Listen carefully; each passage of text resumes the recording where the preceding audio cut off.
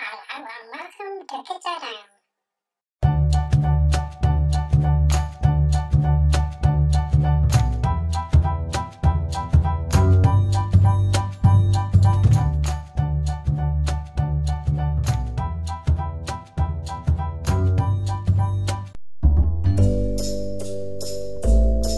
Hello everyone, welcome back. How has your week been? We've been watching a lot of TV and films this week as it's been so cold and wet, but we've still managed to get out for some walks and fresh air. This week is about trust. Trust is really important and there are lots of times we need to trust people. As we can't always know everything or do everything ourselves, ah!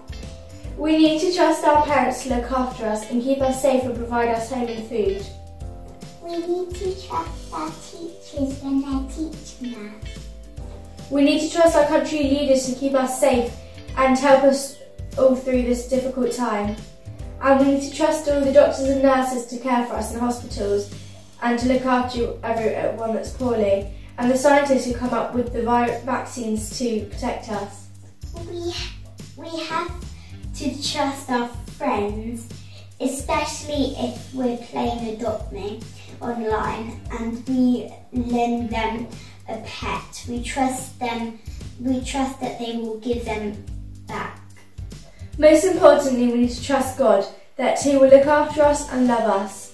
In the Bible, it says, Trust in the Lord with all your heart and do not lean on your understanding. We hope you've had a good week.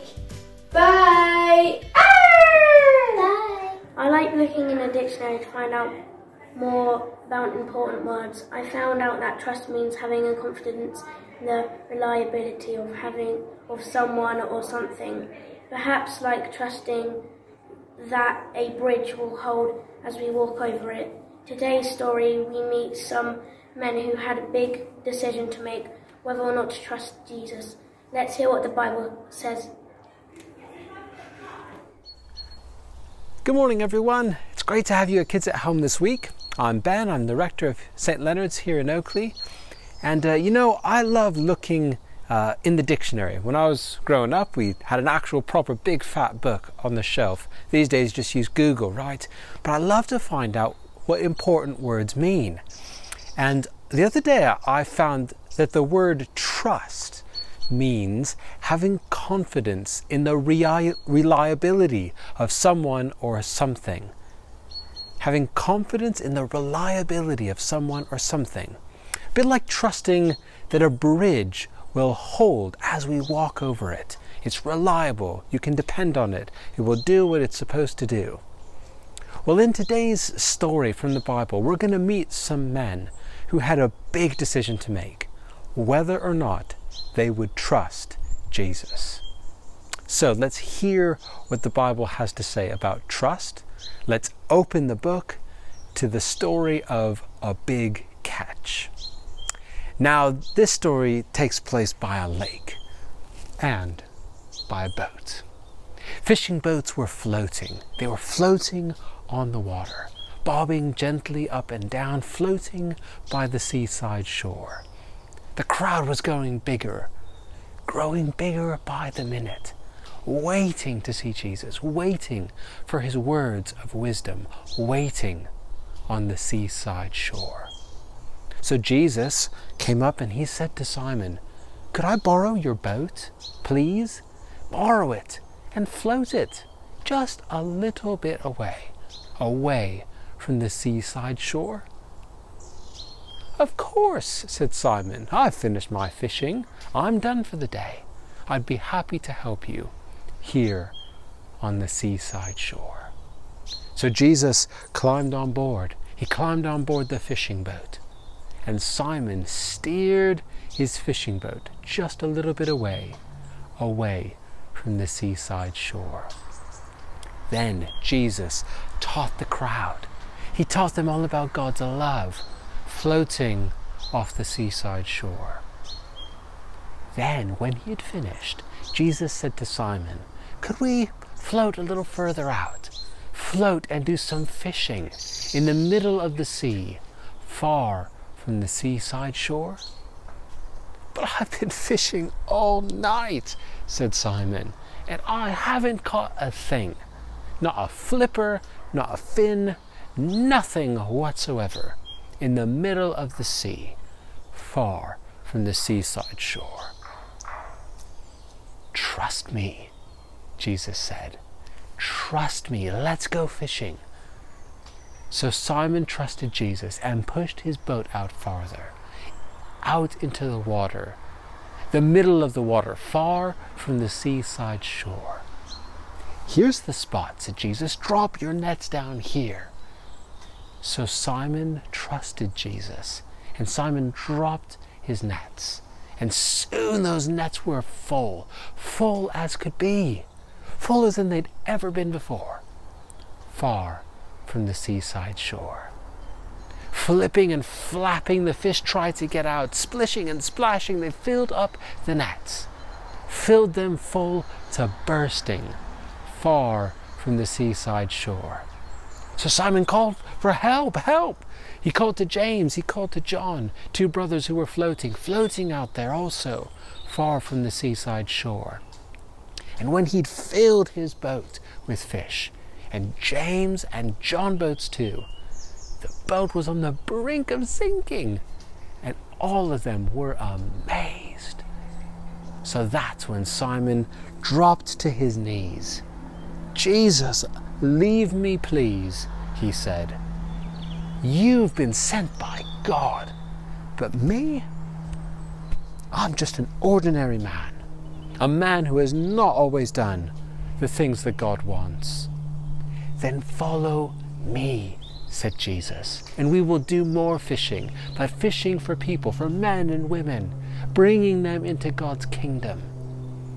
So Simon sailed back home. James and John sailed too. Off they went with Jesus. They left their boats behind them. They left them at the seaside shore. Well, that's our story. And these fishermen did something extraordinary, didn't they? Simon showed so much trust. You know, those fishermen, when they walked away from their boats, they walked away from everything that was familiar to them. They didn't know where they would sleep or eat each night. Um, they didn't know it, whether or not they would have enough to put on the table. But remember what we said about trust when I looked at my dictionary. It's confidence in the reliability of something or someone. Did they have confidence? Could they trust that Jesus was reliable? Well, Jesus showed them that he could be trusted. And so they stepped out. They stepped out on that big adventure. They were willing to leave everything behind because they believed in him. Think about how you would have felt if you had your boat, your nets, everything that was normal. Think about the things that Jesus' friends would have had to leave behind and think about the adventure that was opening up in front of them. Now I'm going to say a prayer. And if you want to make this prayer your prayer, just say Amen at the end after me. So let's think about all that we've heard. Think about this amazing story and this invitation to trust when Jesus calls us. Let's pray. Dear God, we thank you that we can trust you. Help us when we step out into something new to be as bold as those fishermen were and to depend on you. Amen. Simon showed a great deal of trust, didn't he? Those fishermen were leaving behind everything that was familiar. They didn't know where they would sleep each night or if they would have enough to eat. But remember our definition of trust confidence in the reliability of something or someone. Jesus showed them he could be trusted, so they stepped out into a big adventure. Christians believe that today we can still trust God to look after us in all aspects of our lives. Now it's time for worship. Good morning, church. Welcome to the Great House family. Okay, what song are we going to start with, Ben? God is bigger than a burger. Brilliant. Zach, you going to join in? Uh, I'll join the dance. Brilliant, let's go.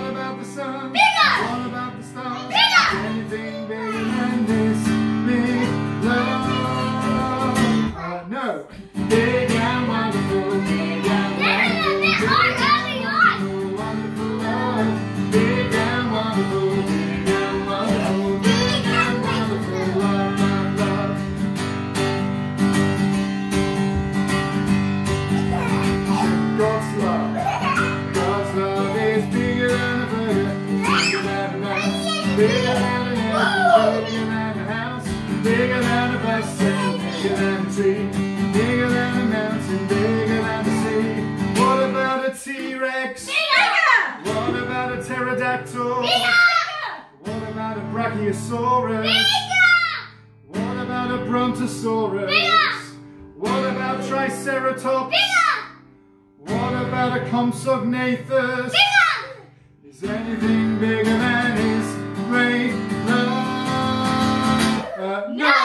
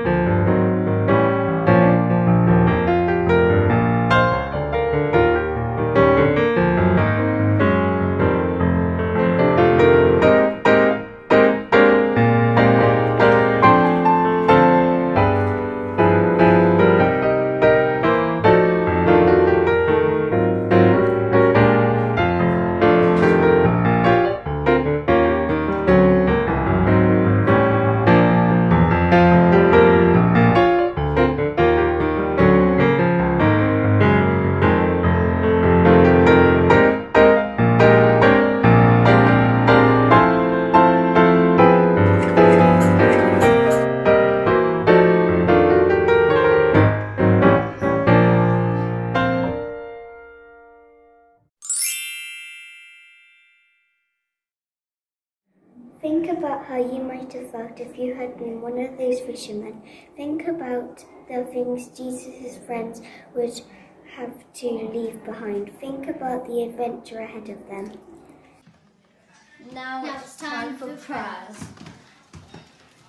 Let me just say a prayer for us as we head out into the rest of our day, the rest of our week, um, listening for where God might be calling us, learning more and more what it means to trust in Him. May God surround you and keep you. May you hear his voice when he calls you, and may you learn to trust him now and always. Amen. Have an awesome week, everyone. God bless you all. Bye. See you next week.